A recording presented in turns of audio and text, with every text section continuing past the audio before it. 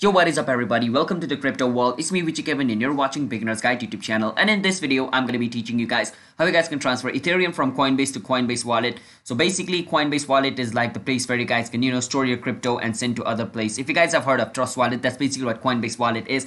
And Coinbase is a place where you guys can buy and sell crypto. So Coinbase and Coinbase Wallet is the different thing. It's just like under the same brand. It's like basically saying Apple phone and Apple Watch. They're under the same brand Apple, but they both have their own functionalities, all right?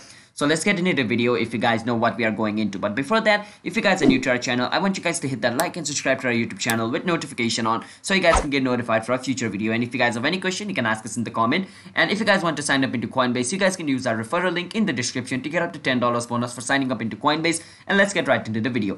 Now first step is you want to go to coinbase.com which is the official website of Coinbase and log in into your account. After you come over here and log in into your account, you want to go on where send and receive. Now once you go on send and receive, you want to go on the send section. By default, you're going to be on the send section, so don't worry about it. And over here where it says pay with, you want to choose Ethereum. By default, it's going to be Bitcoin, but that's not what we are going to be transferring. So I'm going to search Ethereum. The short form of Ethereum is ETH. So I'm going to click on Ethereum. Now after I click on that, I'm going to enter the amount of Ethereum I want to transfer. I want to transfer 400 rupees worth of Ethereum.